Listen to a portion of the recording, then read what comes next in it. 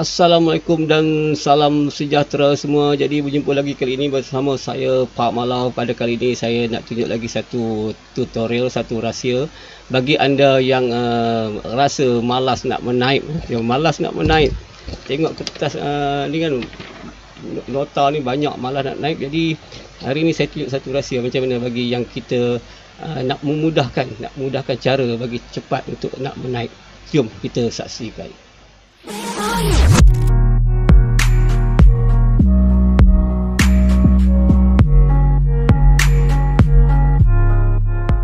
Baiklah, okay, langkah pertama seperti biasalah uh, kita buka Google lah. Okey, jadi kita mesra dengan Google lah kan. Okey, jadi kita buka Google seperti biasa dan kita pergilah kepada Google Drive kita. Okey, buka Google Drive. Apa-apa saja akaun tak kisah. Saya akan buka Google Drive. Okey, senang saja, simple je kali ni tutorial ni tak panjang. Okey, tak panjang sekejap saja. Okey, jadi anda boleh tumpukan sehingga habis uh, tutorial ni. Tonton sampai habis. Seperti biasa jangan lupa like subscribe channel saya. Okey kemudian pergi pada news. News Google Docs. Okey Google Doc ambil lah yang blank document. Ambil blank document. Okey blank document. Okey jadi kita apa nak menaik lah contoh oh sorry maafkan saya contohnya kita nak menaik tag ucapan ke apa-apa kan kita nak type susah panjang kan kita dah draft atas kertas kita tulis tangan lepas tu kita nak type semula Okay, tapi taklah sempurna. Dia type ada ke benda yang kita kena uh, uh, letakkan contoh tanda-tanda bacaan lah, koma, titik kan, huruf kecil, huruf besar. Tapi dia dah menaik dah untuk kita lah, dia dah banyak membantu kita. Okay, cara senang saja, pergi pada tools. Okay, dah buka Google Docs ni, uh, letaklah nama apa-apa, test satu.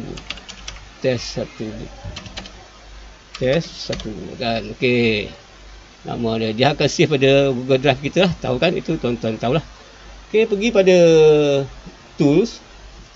Dan ambil voice typing ha, dah ada voice typing. Siapa yang tak uh, pasal kali ni malam ni dia dapat uh, malam ni kali ni dia dapat satu ilmu baru lah. Voice typing okey dia akan keluar gambar speaker macam ni uh, click to speak uh, okey tapi dia dah setting English UK So kita carilah bahasa yang kita boleh guna bahasa Jawa ke bahasa apa Banjar ke tapi ha, bahasa Jawa ada.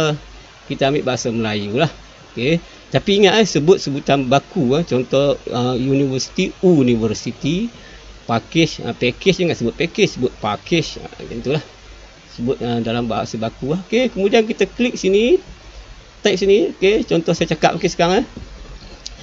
Uh, untuk makluman mak dia type saya telah menyediakan pakej sumbangan yang merupakan bantuan harian kepada penduduk kampung. Okey, kemudian kita stop. Sebab apa? Dia tak boleh uh, dia, dia tulis dah. Saya tak sempat stop tadi, kita boleh backspace dan kita tetap tanda titik noktah. Titik dan kita backspace, kita type, kita sambung lagi. Okay, katalah sebut yang baku sikit. Pihak universiti Oh dia dah type lah. Sebab saya cakap-cakap ni terus dia type. Eh? Saya kena back balik. Okay, back balik, delete. Okay. Pihak university. University. Ha, dia tak detail lagi. Ah ha, jangan. Bila university, dia jadi betul lah. Cuba sebut university. University.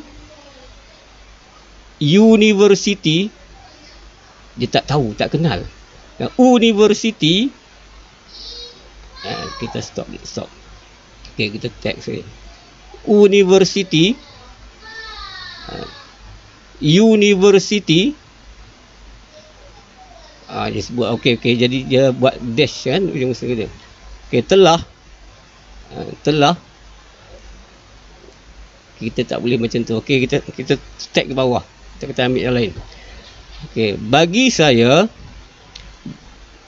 eh, belum belum tekan. Oh patutlah okey bagi saya bantuan hmm, apa yang saya cakap semua dia tulis tengok apa yang saya cakap sekarang semua dia tulis. Jadi nampak tu? Eh, nampak tak? Tuan-tuan nampak tak? Okey sekarang saya ambil telefon saya ambil telefon saya akan pasang satu lagu apa-apa akan makan lagu. Contoh video saya lah yang sebelum ni kan saya mainkan. Saya mainkan video saya sebelum ni yang kan saya cakap-cakap dalam video tu tengok apa dia detect. Tengok apa yang saya cakap semua dia, dia tulis. Apa yang saya cakap sekarang ni semua dia tulis. Lagi saya tak tekan stop lah. Okey saya stop. Okey saya mainkan lagu. Detail sikit. Lah. Ini kerja macam saya kata selalu uh, benda ni uh, apa kalau photoshop memanglah dia buatlah cantik kan. Kalau remove biji pun cantik juga. Tapi tak ada kita nak explore kita nak guna apa rahsia powerpoint ni dia boleh buat macam-macam eh. Kita kita simpan okey tapi kalau tangan tu kita nak ke bawah sikit eh. Oh sorry. Terlajak gambar lain eh pula. Mana tadi? Sekejap lah dia tak apa-apa nak dengar kan suara tu. Jadi dia tak boleh nak detect. Dia kena cakap kuat dan jelas sebutan dia. Buang ke sini. Kita nak kalkan ke situ ah, Kita nak ambil sikit tangan tu kan okey kita nak ambil sikit so nampak nampak dia dengan sini pun ada macam terganggu sikit Ha, Okey, jadi itulah kali ini perkongsian saya. Ha, senang saja, mudah saja. Kemudian benda ni tak ada save, kita stop lah. Ha, jangan tak stop lagi. Apa yang saya cakap semua dia tulis. Okey, kita stop dan benda ni memang tersave lah, tersimpan pada Google Drive kita lah. Ataupun kita boleh move. Move ke folder yang kita nak simpan lah.